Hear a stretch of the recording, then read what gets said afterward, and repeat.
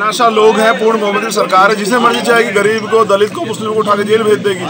OBC वर्ग किसी व्यक्ति को जो ईमानदारी से अपनी बात रखेगा जो इनके खिलाफ बात करेगा जो इनकी सही गलत नीतियों के खिलाफ बात करेगा उसे जेल भेज देंगे। तो मैंने मैंने उत्पीड़न के खिलाफ बात की मुझे जेल भेज दिया। लेकिन लेकिन जो रासुका लगाई गई वो आपके ऊपर लगाई गई। और वो यही कह के लगाई गई कि आपके द्वारा दंगे कराए।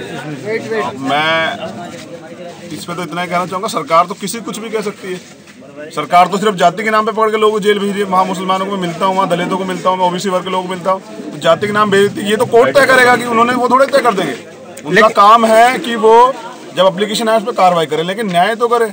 हमारी इतनी अप्लीकेशन नहीं थी उन पर तो कोई कार्रवाई नहीं हुई। लेकिन आज आपको जो जेल से जो रिहा किया गया है हालाँकि डेढ़ महीना रह गया था आपकी जो रिहाई का जो समय था। उसमें डेढ़ महीना रह गया था। डेढ़ महीने पहले जो अनुकंपा जो करी है उसके बारे में आप क्या कहेंगे? केवल डेढ़ महीने की जो अनुकंपा उसमें उनकी साजिश मुझे नज़र आ रही। है मुझे ऐसा लग रहा है कि वो कोई मामला करा के और फिर मेरे ऊपर ये राशि का जो है दोबारा से लगाना चाहता है। क्योंकि मैं नवंबर में आया था और कल सुप्रीम कोर्ट में मेरी डेट थी तो सुप्रीम कोर्ट से मुझे रिलीफ मिल ही जाता। क्योंकि इनके पास कोई आधार ही नहीं था वहाँ टिकने के लिए।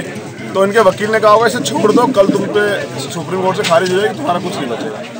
तो मुझे लगता है दोबारा लगाने के लिए मुझसे चुनाव ये बचाना चाहते हैं। इन्हें पता मैं समाज के लोग कहूँगा तो समाज के लोग इन्हें वोट देंगे।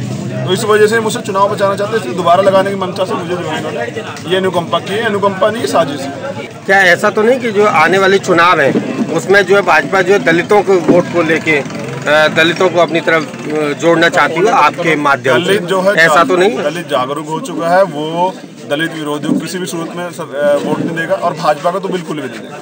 किसी भी सूरत में भाजपा को दलित समाज वोट नहीं करेगा। बहुजन समाज इकट्ठा होकर पूरा महागठबंधन के साथ जाएगा। जो पार्टियाँ गठबंधन से भाग रही हैं उन्हें भी सामाजिक तौर पर प्रेशर करके मजबूर करेंगे गठबंधन करें। और इस तानाशाही सरकार को जो अंग्रेज़ों से भी ज़्यादा बुरी है काले अंग्रेज़ सरकार इसे उखाड़ बैठे कि वो किसी भी सूरत में टुकड़े न होने दे वो गठबंधन करे और मजबूती से लड़े और भाजपा को सत्ता से बेदखल करे?